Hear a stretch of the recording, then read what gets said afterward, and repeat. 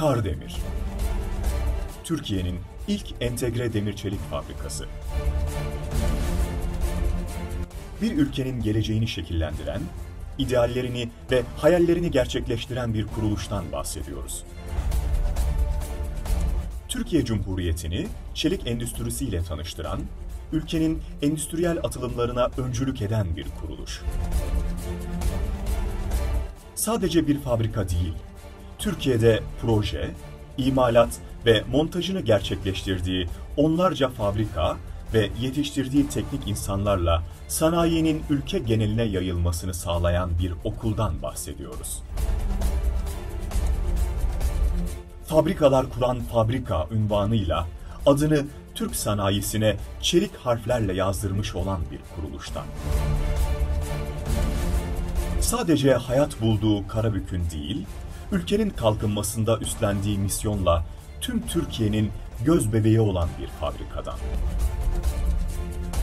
Sağladığı istihdam, yarattığı katma değer ve üretimleriyle Türkiye'nin en büyük sanayi şirketlerinden biri olan Kardemir'den bahsediyoruz.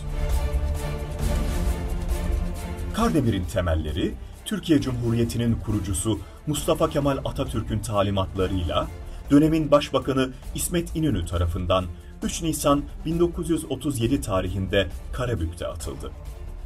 İki buçuk yıl gibi kısa bir sürede işletmeye alınan Kardemir'de ilk Türk demiri 10 Eylül 1939'da üretildi. 150 bin ton olan kuruluş kapasitesi 1995 yılına kadar mütevazı bir şekilde artarak 600 bin tona ulaştı.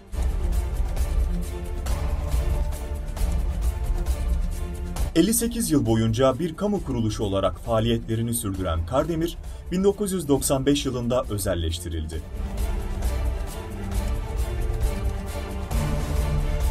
Kardemir, özelleşme sonrası hızla teknolojisini yeniledi. Gerçekleştirdiği modernizasyon ve yeni yatırım projeleriyle verimlilik ve karlılığını artırdı. 1999 yılında yeni çelikhanesini kurarak çelik üretim metodunu değiştirdi. 2007 yılında ise işletmeye aldığı yeni ray profil haddehanesi ile Türkiye ve bölge ülkeler arasındaki tek ray üreticisi oldu. Aralıksız sürdürdüğü yatırımlarla 2010 yılına kadar kapasitesini 1 milyon tona çıkaran Kardemir, bu tarihten sonra yeni bir vizyonla kapasitelerini 3,5 milyon tona çıkartmak ve katma değeri yüksek ürünler üretmek için yeni bir yatırım dönemine girdi.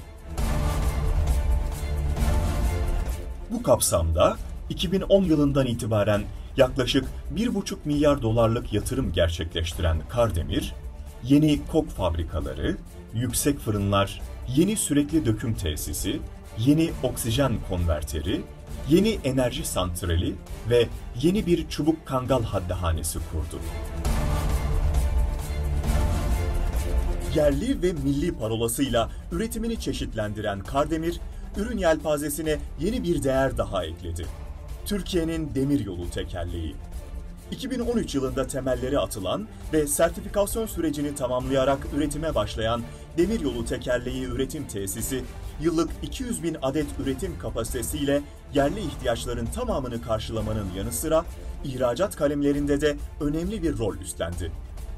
Öncelikli hedefi Türkiye'nin dışa bağımlılığını sonlandırmak olan tesis, Kardemir'i Türkiye'nin ilk ve tek, bölgenin ise sayılı demiryolu tekerleği üreticisi konumuna taşıdı.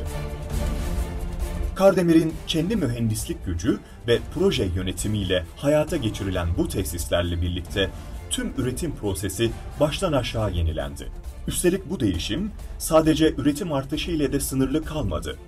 İçinde eğitim, çevre ve sosyal sorumluluk projelerini barındıran, tüm faaliyetlerini hedeflerle yöneten, araştırma ve geliştirmeye açık, toplam kalite felsefesi ile sürdürülebilir büyüme ve başarıyı kovalayan büyük bir değişim hareketi. Sadece üretim hattında birbirine entegre olmuş bir şirket değil, yönetim ve çalışan kadrosuyla da dünya ile entegre olmuş bir şirket.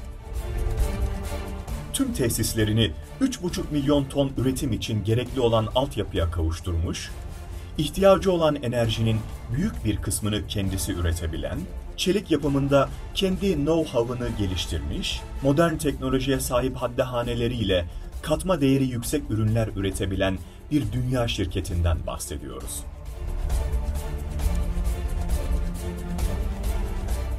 Doğal kaynakları etkin bir şekilde kullanan, temiz teknolojileriyle üretim yapan, insan ve toplum odaklı yatırımlarla yaşama her alanda hizmet eden bir kuruluş.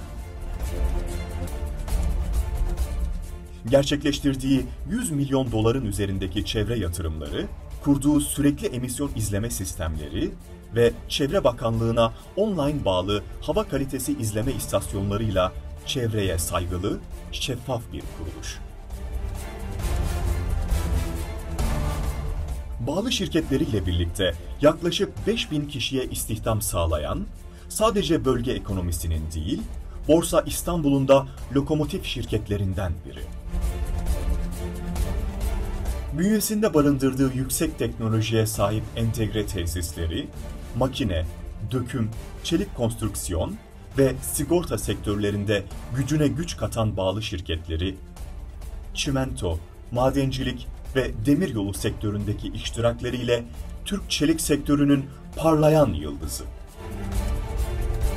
Kardemir, başarıya inanmış ve hep mükemmelliği arayan, toplam kalite felsefesiyle tüm paydaşlarının mutluluğu için çalışan ve bunu bir yaşam biçimi haline getiren modern bir entegre demir çelik şirketi. Türk çelik sektörünün parlayan yıldızı.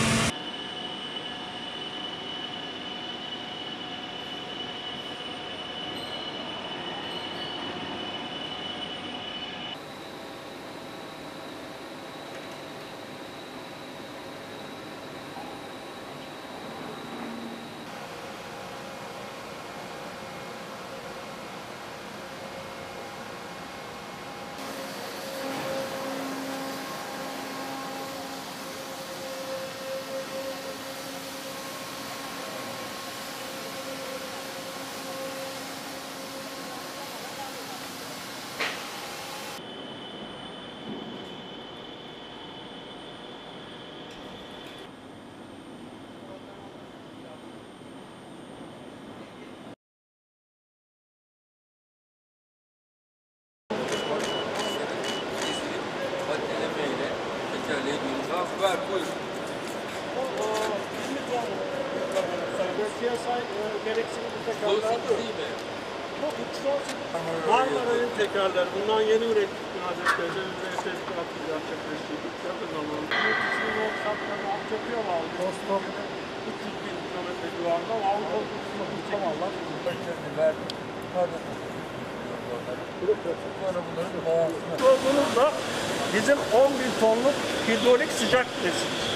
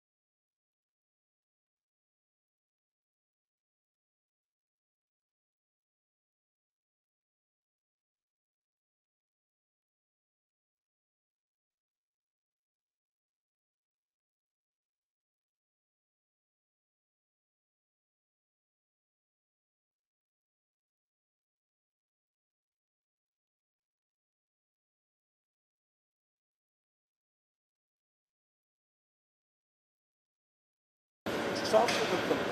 Var mı? Ver aslında demir yolu işi Avrupa'da Bu yaptıkça bizim trenlerde 153 Bunlara bakalım. Ee, yüzey sabitleri o.